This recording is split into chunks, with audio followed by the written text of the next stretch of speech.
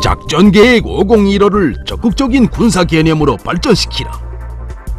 북의 핵 미사일 공격 징후가 포착되면 즉각 선제 타격하는 방안을 마련하라.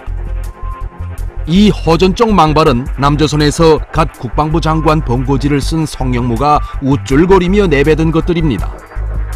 어느 뭐로 봐도 갓 태어나 세상 물정도 모르고 동네방네 돌아치며 지저대는 하룻강아지 한 가지입니다. 지금 대륙간 탄도 로켓 화성 14형의 시험 발사에 성공한 세계적인 핵강국 로켓 강국인 우리 공화국의 전략적 지위 앞에서 상전인 미국도 감히 대응할 엄두를 내지 못하고 있는 때에 괴뢰군 통수권도 못 가진 한가 식민지 거영병 따위가 보수 정권 선임자들이 들었던 동적 대결의 칼을 또다시 휘둘러대는 꼴이란 정말 삼척동자도 배꼽을 떨며 웃게 할 지경입니다. 성영무가 어떤 자입니까? 이자는 소해 사건 때 이미 우리의 불손하기 맛을 단단히 본 자이며 방산비리 사건에 연루된 부정부패의 주역으로서 남조선 사회 각계에서도 비난의 초점이 모아지고 있는 자입니다.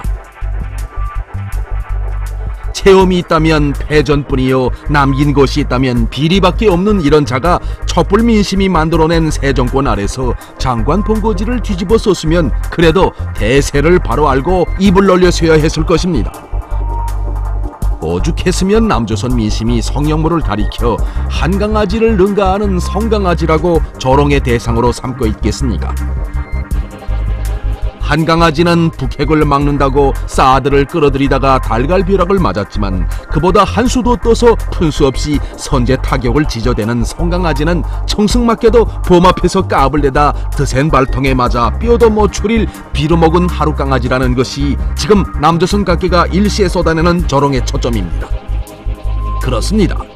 하룻강아지 성령무가 동족 대결의 녹슨 칼날을 휘두르며 내뱉은 선제 타격 망발은 우리 군대와 인민의 복수심만을 불러일으켜 넘은 물론 괴뢰 군부라는 반역 소굴이 통째로 불벼락을 맞아 사라지는 그날만을 앞당겨 줄 것입니다.